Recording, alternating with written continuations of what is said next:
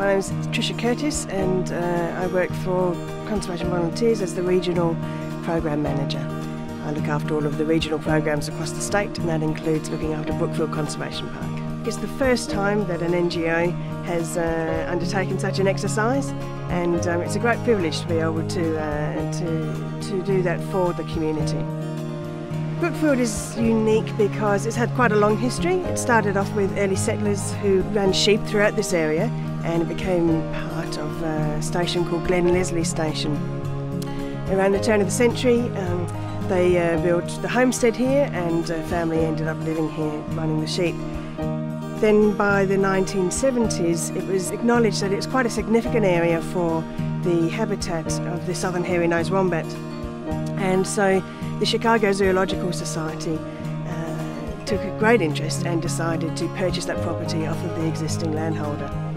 After that time, they, they sent lots of researchers over from America um, trying to take research on um, various birds and vegetation and some of the other wildlife here. I work for the Department of Environment Water and Natural Resources as their science coordinator.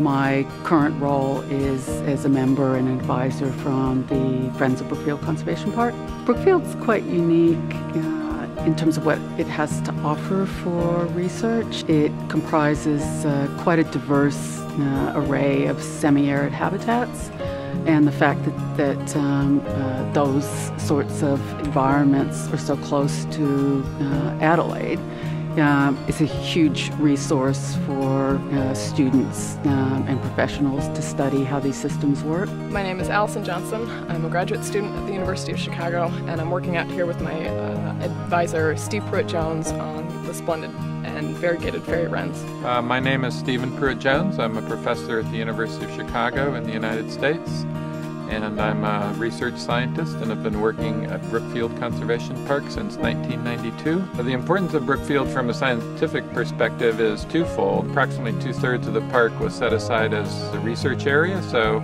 the public can gain access to on the nature drives and picnic areas approximately one-third of the park, but then two-thirds of the park are off limits and are devoted to long-term research projects. It's also um, a great spot in terms of bird conservation, um, this area has a lot of um, species that are uh, both migratory and non-migratory and uh, associated with both the riverland uh, as well as this dense mallee area. This site is particularly valuable because you can set up long-term experiments.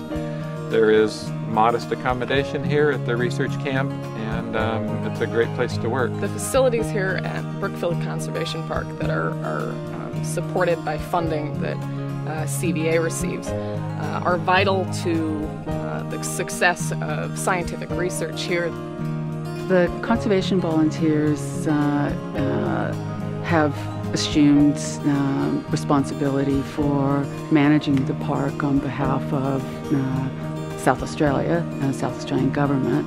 They bring volunteers and energy to understand and manage uh, uh, conservation issues and threatening processes on the park and in the region as a whole. Uh, I'm Jessica Strauss. I'm doing a PhD on the southern hairy-nosed wombat in the Murraylands of South Australia.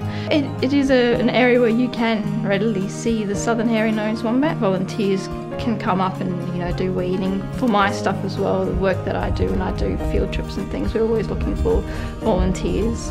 You can get um, field experience, field work, come out here, learn pitfalling techniques, weeding, just getting to know the fauna and flora of the area and it will help you with your knowledge basis for wherever you go, being able to identify species and stuff like that. You know, they get the benefit of being out there and seeing what's there, a chance of seeing wombats and other species and, and learning a bit more about the park. The importance of Brookfield is to engage the community and that's at all levels, so whether that's the scientific community uh, or the general public who are coming in to have a look at it. So, um, you know, it's engaging people in um, community science. Um, CVA's vision uh, for managing and uh, uh leasing the park is to make it uh, an example uh, within Australia of an NGO uh, being able to manage the resources for the community. It's a park that will contribute um, quite substantially to research about all sorts of things, not just about the southern hairy-nosed wombat. And also a park that means that uh, the community can assist in that. So they become citizen scientists. So anybody can become a scientist just for a day or for a week. That's what I love about Brookfield, that you get to play a part in that.